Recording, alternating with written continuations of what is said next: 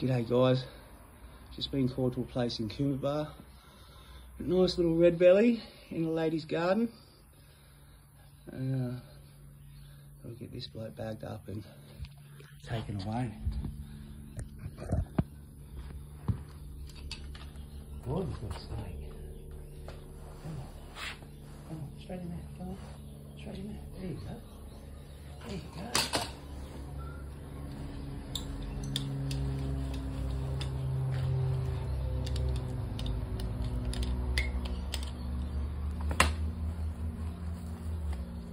You wouldn't want that dead mountain calf. No, not at all.